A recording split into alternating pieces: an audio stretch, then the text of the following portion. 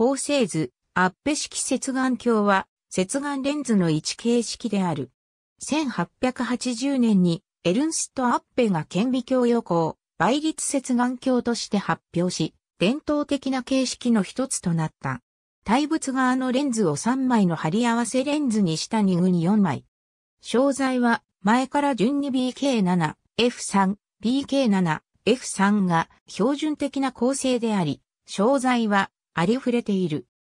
焦点距離 4mm の場合極率は前から R1 イコールプラス 6.32mm、R2 イコールマイナス 2.40mm、R3 イコールプラス 2.23mm、R4 イコールマイナス 5.72mm、R5 イコールプラス 3.44mm、R6 イコール平面と6面とも極率が違いまた深い。極率が深く研磨皿の摩耗が激しいこと、光軸を正確に合わせるのが困難であることから、メーカーによりまた個体により、性能にかなりのばらつきが出、また高価である。Y 極周差が少ないためプレスル式接眼鏡と並んで Y 極のない、整った像という意味のオルソスコピックとして販売されることが多い。瞳距離が長いので、高倍率接眼鏡として使用される。色周差が少なく 0.783F ほどと、瞳距離も長いため高倍率用、測定用に一番良い接眼鏡である。ドイツ民主共和国のカールツァイスイエーナ製、オルソスコピックは、鋭い像と高いコントラストで、特に超焦点の望遠鏡に使用した場合には、日本製高性能接眼鏡との比較でも差が歴然としている。特に Y 極周差が少なく、色周差を持たない。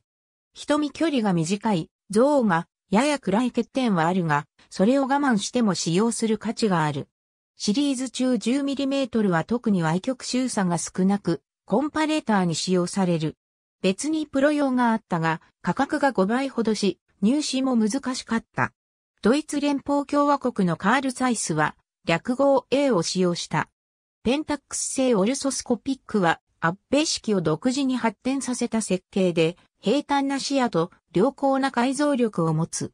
良質な商材を使用し、マルチコートを空気に接する前面に施しているため、極めて透過率が高く色再現が非常に良い。